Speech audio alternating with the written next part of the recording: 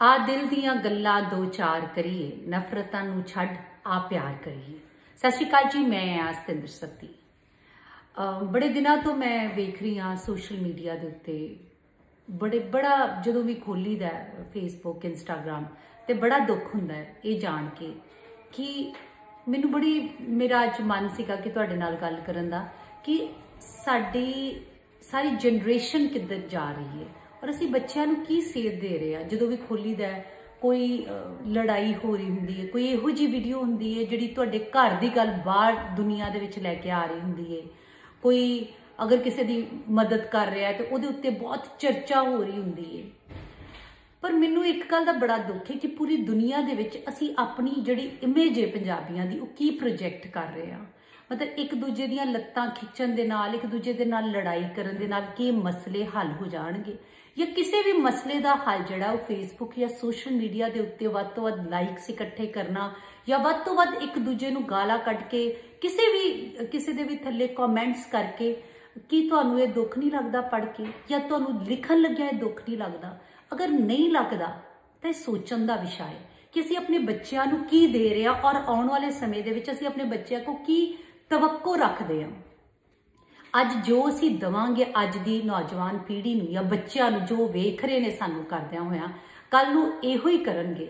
ਔਰ ਅੱਜ ਜੋ ਬੱਚੇ ਨੇ, ਉਹਨਾਂ ਨੇ ਕੱਲ ਨੂੰ ਵੱਡੇ ਹੋਣਾ ਉਹਨਾਂ ਦੇ ਬੱਚੇ ਹੋਣਗੇ।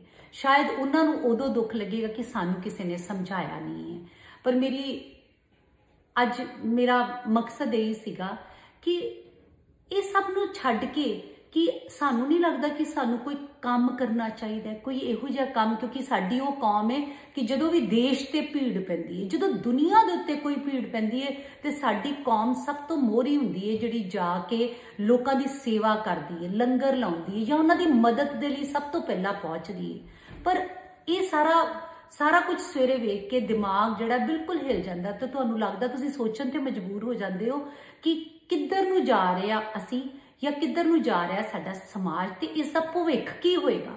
ਅਸੀਂ ਕੀ ਇਹਦੇ ਵਿੱਚੋਂ ਕੱਢਣਾ ਚਾਹੁੰਦੇ ਆ ਤੇ ਜਾਂ ਆਉਣ ਵਾਲੀ ਪੀੜ੍ਹੀ ਨੂੰ ਕੀ ਦੇਣਾ ਚਾਹੁੰਦੇ ਆ ਮੈਂ ਇਸ ਦੇ ਪ੍ਰਤੀ ਬੜੀ ਫਿਕਰਮੰਦ ਆ ਕਿਉਂਕਿ ਜਿਹੜੀਆਂ, ਜਿਹੜੇ ਵੀ ਲੜਾਈ ਅਸੀਂ ਦੇਖਦੇ ਆ ਉਹ ਸਾਡੇ ਬੱਚੇ ਵੀ ਦੇਖਦੇ ਨੇ ਤੇ ਸ਼ਾਇਦ ਉਹਨਾਂ ਨੂੰ ਇਹ ਲੱਗਦਾ ਹੋਵੇਗਾ ਕਿ ਇਹੋ ਹੀ ਸਭ ਤੋਂ ਵੱਡੀ ਪ੍ਰਾਪਤੀ ਹੈ ਕਿ ਵੱਧ ਤੋਂ ਵੱਧ ਲੜਨਾ, ਵੱਧ ਤੋਂ ਵੱਧ ਬੁਰਾ ਇੱਕ ਦੂਜੇ ਨੂੰ ਕਹਿਣਾ, ਇਸ ਦੇ ਨਾਲ ਅਸੀਂ ਮਸ਼ਹੂਰ ਹੋ ਜਾਵਾਂਗੇ ਜਾਂ ਇਹੋ ਹੀ ਇੱਕ ਚੰਗੀ ਚੀਜ਼ ਹੈ। ਸੋ ਮੇਰੀ ਸਾਰਿਆਂ ਨੂੰ ਇਹੋ ਹੀ ਬੇਨਤੀ ਹੈ ਕਿ ਇਹਨਾਂ ਚੀਜ਼ਾਂ ਨੂੰ ਦਰਕਨਾਰ ਕਰਕੇ ਕੁਝ ਇਹੋ ਜਿਹਾ ਕਰੀਏ ਤਾਂ ਕਿ ਬੱਚਿਆਂ ਨੂੰ ਲੱਗੇ ਸਾਡੀਆਂ ਰਗਾਂ ਦੇ ਵਿੱਚ ਕਿੰਨਾ ਯੋਧਿਆਂ ਦਾ ਖੂਨ ਹੈ।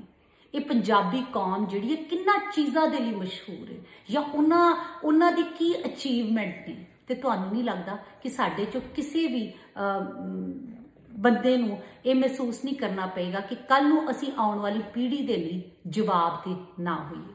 ਉਮੀਦ ਕਰਦੀ ਹਾਂ ਕਿ ਤੁਸੀਂ ਸਭ ਇਸ ਵੀਡੀਓ ਨੂੰ ਪੋਜ਼ਿਟਿਵ ਲੈਂਦੇ ਹੋਏ ਇਹਨਾਂ ਚੀਜ਼ਾਂ ਤੇ ਜ਼ਰੂਰ ਸੋਚੋਗੇ।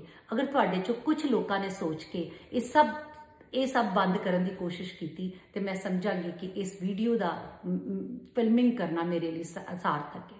ਥੈਂਕ ਯੂ ਵੈਰੀ ਮੱਚ ਆਪਣਾ ਧਿਆਨ ਰੱਖੋ। ਸਤਿ ਸ਼੍ਰੀ ਅਕਾਲ।